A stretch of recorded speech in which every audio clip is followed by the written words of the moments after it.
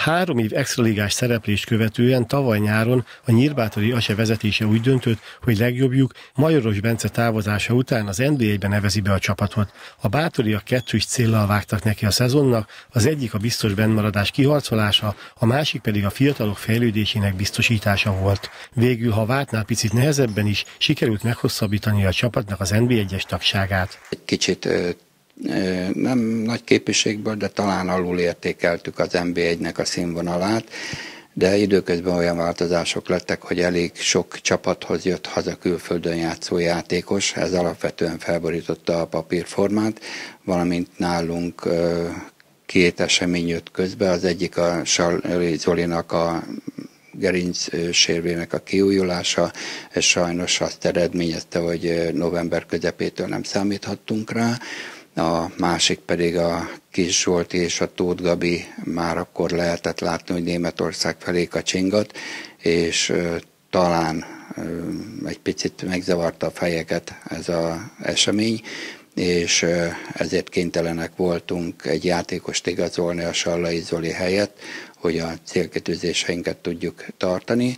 Ez sikerült is, bennmaradtunk, és most itt ez a lényeg. A klubmenedzser elmondta, hogy nem terveznek jelentős változást a játékos keretben. A cél továbbra is az, hogy a fiatalok megfelelő ütemben fejlődjenek. Német Jánossal valószínűleg, hogy nem fogunk újra szerződést kötni, hiszen az ő igényei olyanok, amiket azt hiszem, hogy Nyírbátor nem fog tudni teljesíteni. Helyette van egy hasonló szintű, de kevésebb igényel, anyagi igényel fellépő játékos, és azt gondolom, hogy vele meg fogjuk tudni oldani ugyanezt a kérdést, tekintve azzal, hogy bár ugyan a Kis Zsolt és a mm, Turgavi elment tőlünk, de Molnár Dávidnak a fejlődése úgy néz ki, hogy töretlen, és az, amit elvesztünk a két játékos által, azt a Molnár Dáviddal fogjuk tudni pótolni.